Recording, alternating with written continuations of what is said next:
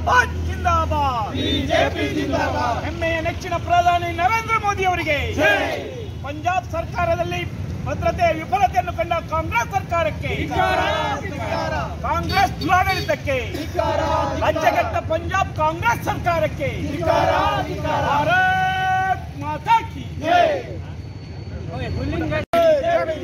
ರಾಜ್ಯಘಟ್ಟ ಕಾಂಗ್ರೆಸ್ ಸರ್ಕಾರಕ್ಕೆ ಪಂಜಾಬಿನ ಕಾಂಗ್ರೆಸ್ ದುರಾಡಳಿತಕ್ಕೆ ನರೇಂದ್ರ ಮೋದಿ ಅವರಿಗೆ ನೆಚ್ಚಿನ ಪ್ರಧಾನಿ ನರೇಂದ್ರ ಮೋದಿ ಅವರಿಗೆ ಭಾರತ್ ಮಾತಾ ಕಿ ಜಿಂದಾಬಾದ್ ಜಿಂದಾಬಾದ್ ಬಿಜೆಪಿ ಜಿಂದಾಬಾದ್ ಪ್ರಸ್ತುತ ಕಾಂಗ್ರೆಸ್ ಪಂಜಾಬ್ನ ಕಾಂಗ್ರೆಸ್ ಸರ್ಕಾರಕ್ಕೆ ಧಿಕಾರ ಧಿಕಾರ ಕಾಂಗ್ರೆಸ್ ಮುಖ್ಯಮಂತ್ರಿಗೆ ಧಿಕಾರ ಧಿಕಾರ ಈಗ ಸಭೆ ಉದ್ದೇಶಿಸಿ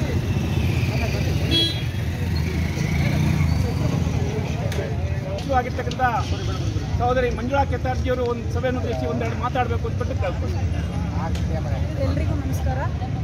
ಇವತ್ತಿನ ಈ ಪ್ರತಿಭಟನೆ ಒಬ್ಬ ಪ್ರಧಾನಿ, ಒಬ್ಬ ದೇಶದ ಪ್ರಥಮ ಪ್ರಜೆಗಾದಂಥ ಅವಮಾನ ಜೊತೆಗೆ ನಮ್ಮ ಸಾಮಾನ್ಯ ಜನರ ಪರಿಸ್ಥಿತಿ ಏನಾಗ್ಬೋದು ಅನ್ನೋದನ್ನ ಪ್ರತಿ ಜನರು ಊಹಿಸ್ಕೋಬೇಕಾದಂಥ ವಿಷಯ ಪ್ರಪಂಚವೇ ಕೊಂಡಾಡ್ತಾ ಇರುವಂಥ ನಮ್ಮ ದೇಶದ ನೆಚ್ಚಿನ ಪ್ರಧಾನಿಯನ್ನು ಇವತ್ತು ಈ ಆ, ಕಾಂಗ್ರೆಸ್ ಸರ್ಕಾರ ಈ ಈ ನೀಚ ಕೃತ್ಯದಿಂದ ಅವರ ಯೋಗ್ಯತೆಯನ್ನು ತೋರಿಸ್ಕೊಟ್ಟಿದೆ ಹಾಗಾಗಿ ಈ ಈ ಈ ಸ- ಈ ವಿಷಯನ ನಾವು ಆ, ಖಂಡಿಸ್ತೀವಿ ಅಂತ ಹೇಳ್ತಾ ಮಾತಾಡ್ಲಿಕ್ಕೆ ಅವಕಾಶ ಕೊಟ್ಟ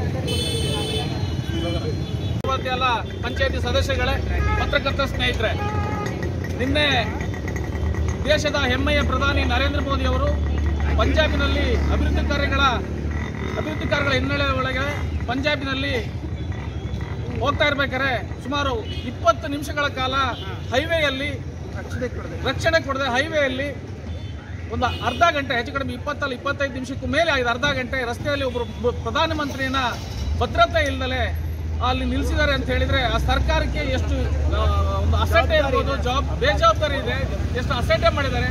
ನೆರೆಯ ಶತ್ರು ರಾಷ್ಟ್ರದ ಪಾಕಿಸ್ತಾನಕ್ಕೆ ಬರೀ ಹತ್ತು ಕಿಲೋಮೀಟರ್ ದೂರದಲ್ಲಿ ಇರ್ತಕ್ಕಂಥ ಪಂಜಾಬಿನ ಹತ್ರ ಆ ಒಂದು ಕಾರ್ಯ ಘಟನೆ ನಡೆದಿದ್ದು, ಅದಕ್ಕೆ ರಕ್ಷಣೆ ಕೊಡಕ್ಕಾಗಿತ್ತಂತ ಪಂಜಾಬಿನ ಮುಖ್ಯಮಂತ್ರಿ, ಅಲ್ಲಿನ ಗೃಹ ಸಚಿವರನ್ನ ಕೂಡಲೇ ವಜಾ ಮಾಡಬೇಕು, ಕಾಂಗ್ರೆಸ್ ಸರ್ಕಾರನ ವಜಾ ಮಾಡಬೇಕಂತ ಈ ಮೂಲಕ, ನಿಮ್ಮೆಲ್ಲರ ಮೂಲಕ ಖಂಡನೆಯನ್ನು ಮಾಡ್ತಾ, ಕಾಂಗ್ರೆಸ್ ಸರ್ಕಾರ ವಜಾ ಮಾಡಬೇಕು ಅಂತ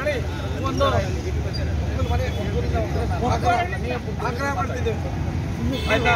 ಹಾಗೇನೆ ಈ ಒಂದು ಅವರ ಸಂಸ್ಕೃತಿಯನ್ನ ಎತ್ತು ತೋರಿಸುತ್ತೆ. ಇದೇ ರೀತಿ ಮೊನ್ನೆ ನಡೆದ ರಾಮನಗರದಲ್ಲಿ ನಡೆದು ಈಗ ಒಂದು ಅಭಿವೃದ್ಧಿ ಕಾರ್ಯಕ್ಕೆ ಮುಖ್ಯಮಂತ್ರಿ ಹೋದ್ರು ಸಹಿತ ಅಲ್ಲೂ ಎದೆ ಮೇಲೆ ಉಬ್ಸ್ಕೊಂಡು ಬಂದು ನಮ್ಮ ಹಿಂದಿನ ಈಗಿನ ಸಚಿವರಾದಂಥ ಅಶ್ವಥ್ ನಾರಾಯಣ ಮೈ ಮೇಲೆ ಹೋದ್ರು. ಅಲ್ಲಿನ ಸಂಸದರು ಯಾವ ರೀತಿ ಅವರ ದೇಶ ತುಂಬ ಈ ಗುಂಡಾಗಿರಿ ಪ್ರವೃತ್ತಿಯನ್ನ ಬೆಳೆಸ್ಕೊಂಡು ಈ ರೀತಿ ಆಗ್ತಾ ಇದೆ. ಅದಕ್ಕೆ ಖಂಡನೆ ಇರಲಿ ಅವರಿಗೆ ಧಿಕ್ಕಾರ ಇರಲಿ. ಕಾಂಗ್ರೆಸ್ ಸರ್ಕಾರ ಕಾಂಗ್ರೆಸ್ ಸರ್ಕಾರ ಏನು ಅಂತ ಹೇಳಿದ್ರೆ ಅವರ, ಅವ್ರ ಪ್ರತಿಬಿಂಬ ಇದೇನೆ. ಅವ್ರು ಏನ್ ಮಾಡ್ತೀರಿ ಅನ್ನೋದನ್ನ ಮಾಡಿ ತೋರಿಸ್ತಾರೆ. ಹೀಗೆ ಇದೆ, ಇದೇ ಅವ್ರದ್ದು ಯಾರಿಗೆ ರಕ್ಷಣೆ ಕೊಡಬೇಕು, ಯಾರಿಗೆ ಯಾವ ರೀತಿ ಸಹಕಾರ ಕೊಡಬೇಕು ಅದಿಲ್ಲ. ಒಂದು ಒಬ್ಬ ಪ್ರಧಾನಮಂತ್ರಿನ ಸರಿಯಾಗಿ ರಕ್ಷಣೆ ಕೊಟ್ಟು ಆ ದಾರಿಯಲ್ಲಿ ಹೋಗ್ಲಿಕ್ಕೆ ಅವಕಾಶ ಮಾಡಿಕೊಟ್ಟ, ಕೊಡಲಿಲ್ಲ ಅಂತ ಹೇಳಿದ್ರೆ ಇನ್ನು ಸಾಮಾನ್ಯ ಜನರ ಸ್ಥಿತಿ ಏನಾಗ್ಬೋದು ಅನ್ನೋದನ್ನ ನೀವೇ ಊಹಿಸಿ. ಅದಕ್ಕಾಗಿ ನಮ್ಮ ರಾಜ್ಯಾದ್ಯಂತ ಇವತ್ತು ಪಂಜಿನ ಮೆರವಣಿಗೆ ಮಾಡಿ ಅದನ್ನು ಖಂಡನೆ ಮಾಡ್ತಾ ಇದ್ದೀವಿ ಇನ್ನು ಮುಂದೇನಾದರೂ ಈ ಸರಿ ಮಾಡ್ಕೊಳ್ಳಿ ಅನ್ನೋದನ್ನ ಅವರಿಗೆ ಎಚ್ಚರಿಕೆಯನ್ನು ಕೊಟ್ಟು ಒಂದು ನನಗೆ ಮಾತಾಡಲಿ ಅವಕಾಶ ಕೊಡಿ ನಿಮ್ಮೆಲ್ಲರೂ ಈಗ ಬಂದಿಸ್ತಾ ನಾನು ಮಾತನ್ನು ಮುಗಿಸ್ತೀನಿ. ಜೈ ಹಿಂದ್, ಜೈ ಕರ್ನಾಟಕ.